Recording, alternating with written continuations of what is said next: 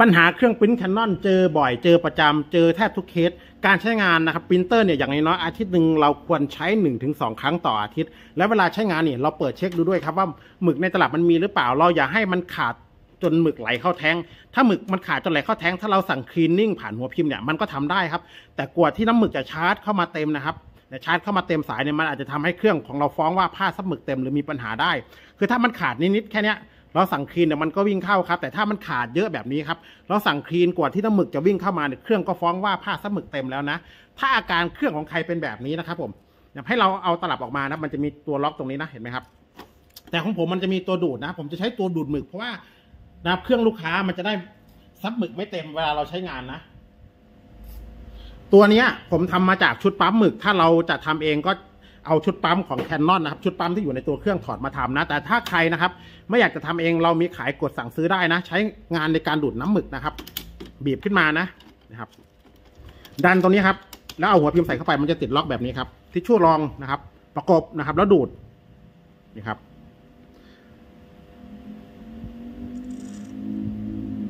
นะครับพอดูดน้ำหมึกก็จะวิ่งเข้านะครับผมไหมวิ่งเข้าที่ตัวแท้งอะครับผมวิ่งเข้าจากแท้งอะมาหัวพิมพ์เห็นไหมครับ แล้วก็ดันตัวนี้ขึ้นนะครับ มันจะล็อกสายไว้เห็นไหมฮะเดี๋ยวผมจะดูดอีกสักครั้งนะคือถ้าดูดแบบนี้ซับหมึกมันจะไม่เต็มนะทุกคนเอาลงมาก่อนเราดูดอีกรอบหนึ่งครับดูดให้น้ำหมึกเข้าในตลับที่หมึกมันไม่ออกเพราะว่า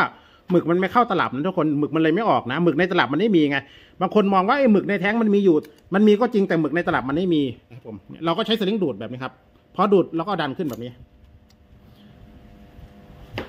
เช็ดนะครับ เช็ดหัวพิมพ์ถอดออกมาดูนะครับ ผม ซับดูว่าหมึกออกยัง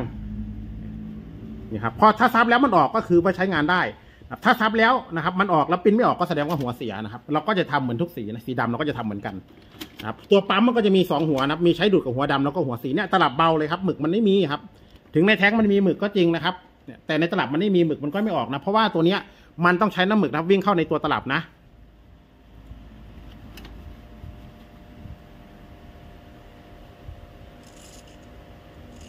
ครับ ดูดพอดูดน้ำหมึกก็วิ่งมาเห็นไหมครับเนี่ยผมจะดูดสักสองครั้งนะตลับมันเบามากเลยนะน้ำหมึกแทบไม่มีเลยนะครับ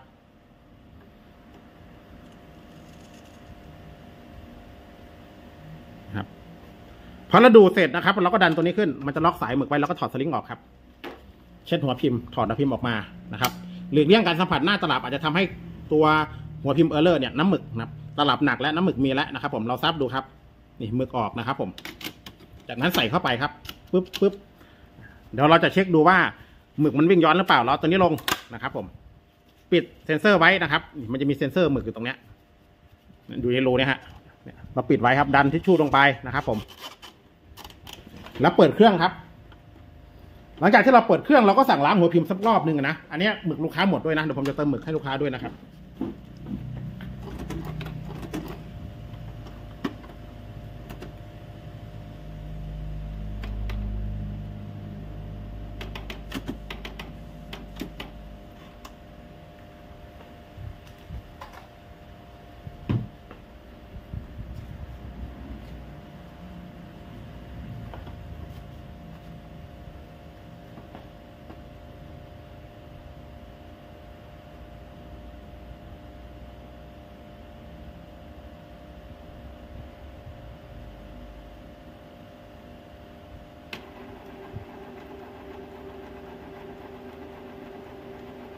โหหมึกหมึกหมดหมึกแห้งเลยฮะ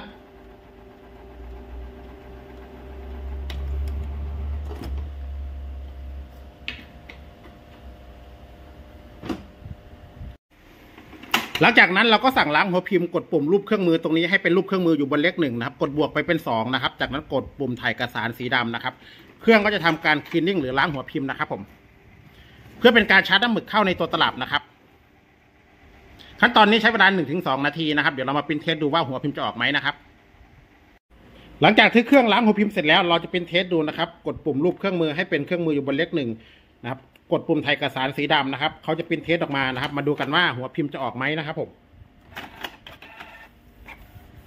นี่ครับ ออกครบทุกสีเลยนะคราวนี้เนี่ยใครที่มีปัญหาก็ลองทำตามดูนะพี่ๆนะ มันปัญหาจุกจิกของแคนนอนก็ประมาณนี้แหละนะครับผมเนี่ยครับ คราวนี้หัวพิมพ์ก็ใช้งานได้ร้อยเปอร์เซ็นต์ออกครบทุกสีนะครับ